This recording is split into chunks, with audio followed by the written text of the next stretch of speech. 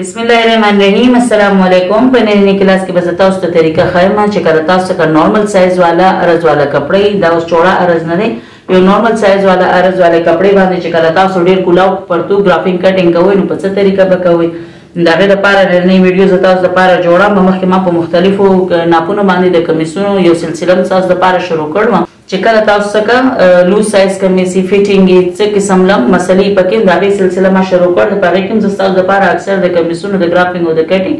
ویډیو چې دی هغه زه اچم نو اوس چې دی نننې ویډیو چې دا نه هغه په نارمل سایز باندې پرتو کپړه د موږ څخه او په دې کې به یو کولاو سایز والا پرتو په څه طریقه ګڼل کیږي او کټینګ کیږي دا غي د ګرافینګ او د کټینګ ویډیو به زنن تاسو سره شیر کوم نو دې لپاره ما کپړه چې دا انداسي په فور فور باندې فور کړم او کپړه چې دا دا موږ څخه لیلن کپړه ده نرمه کپړه ده موږ څخه لیلن کې او د دې ګرافینګ او کټینګ به موږ نن کوو د دې لپاره چې موږ ته کم ناپ پکار دي دا غي کل لمبای چې دا نو هغه 38 انچ یعنی کې اته دیش نیم انچ دی او دا غي کل اواله چې دا نو چې موږ ته څومره کپړه د موږ څخه دا فل لوز سایز کې دوه یعنی کې دا چې څومره دا او دلته نه چې کوم کپړو زیوا بزلوزین کې استعمالام نو د دې سره ټول فل چې څومره کپړه دا ټول پکې موږ راولو او پنځه چې دې کمه ده نو هغه موږ تقریبا سات انچ باندې نیسو آسن چې دی هغه په سوله انچ یعنی کې په شپاړس انچ باندې نیسو نو راځي چې خپل ویډیو شروع کو د ټول نمبر کې خو په نیمه انچ باندې نشان ولګو په پاسه کپړه به ولګو په لاندې به هم ولګو چې دوه پنځو باندې زموږ نشانات ولګي بیا موږ ته په فولډینګ کې اساني دلته نه به موږ په 2 انچ باندې د نفې نشان ولګو یعنی کې ببډې لپاره په 2 انچ باندې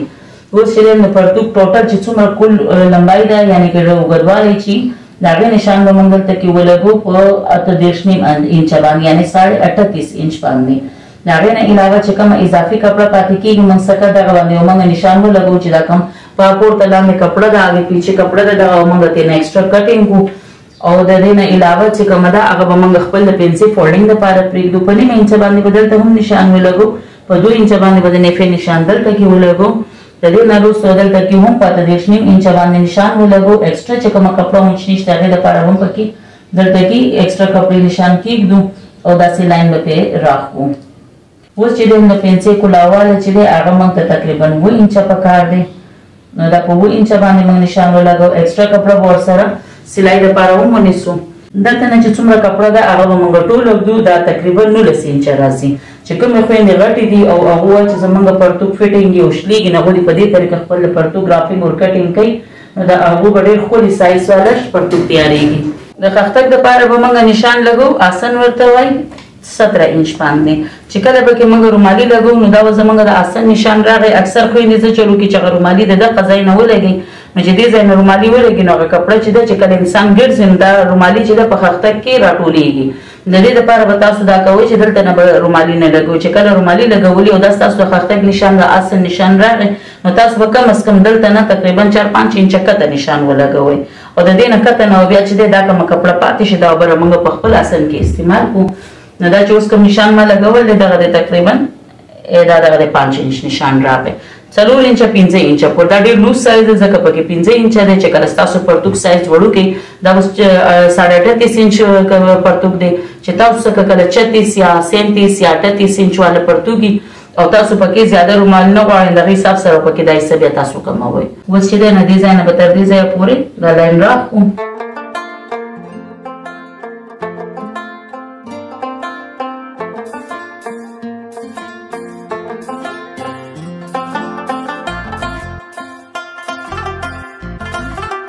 دلته نو دومره کټینګ ورکو چې دواړه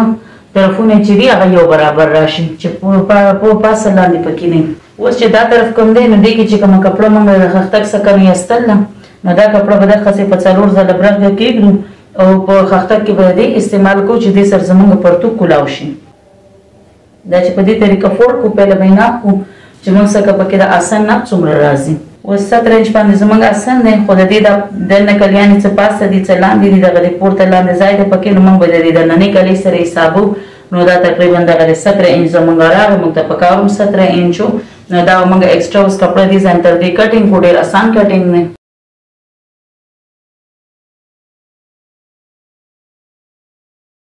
د اضافي کپړه ته دغه د مونږ نه منځ نه وښکله